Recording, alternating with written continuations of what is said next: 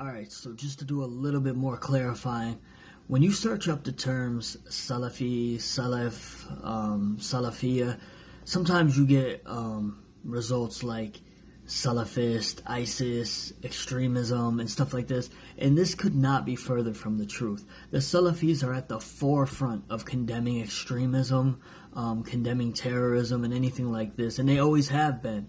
Um, this isn't. They didn't just hop on board and be like, um, you know, oh, Islam is peace. Um, they've been doing this since the time of the Salaf.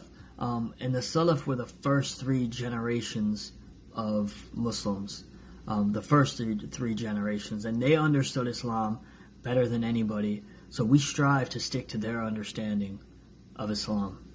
Um, so that's that's what that means.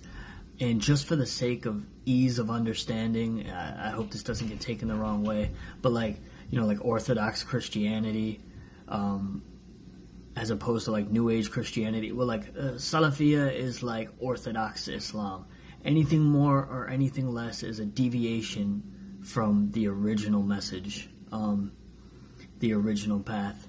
So yeah, um, just wanted to put that out there, and I hope uh, nobody, I hope no like non-Muslims or new Muslims, you know, fall into that trap of thinking that Salafis are like um, extremist or something because that is just it, it's just so far from the truth. Um, it's really not funny.